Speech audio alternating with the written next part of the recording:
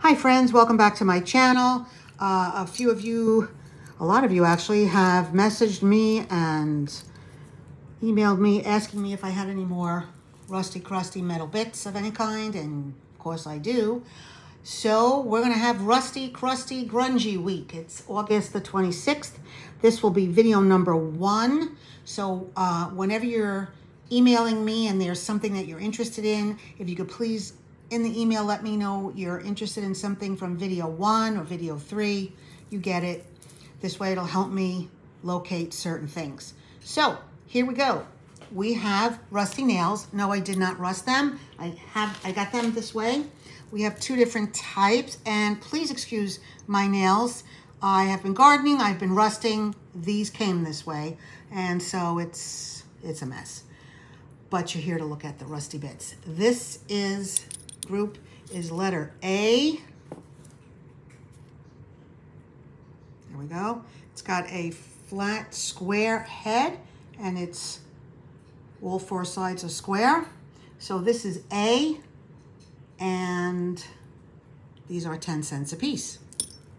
These fun nails are flat all the way around and flat, flat on the top. These are also 10 cents each. And what do we do with these? Well, if you're doing in steampunk, grunge, industrial, Halloween, I mean, you know, if you're doing a vampire thing, you can use these as stakes in your assemblages. Um, journals, use them for closures, or what I've seen some people do, if you're a glass blower, I know a lot of people have blown glass onto these and made pendants out of them. So you can make pendants out of these. You could glue rhinestones on these. I know there are some people out there, and I've seen the work, I wish I knew how to do it, who have made beautiful crosses.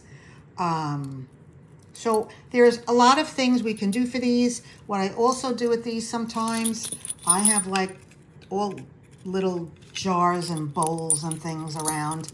And sometimes I'll just take some things and throw them in there and leave them on my craft desk. And it's just for inspiration. Or sometimes I'll look at it and a light bulb will go off. And who knows where it sends me. So this is video number one in our Rust series. They are 10 cents a piece. You can buy as many as you like. As you see, I have a lot here, but this is all I have in these. So if you're interested, we have A and B. And please email me at findingsbyjnm at gmail.com. Please subscribe. Don't forget to hit the notification button. Make sure it's turned on so that you will be updated on any and all videos that get uploaded. Thank you so much for watching. I appreciate all of you.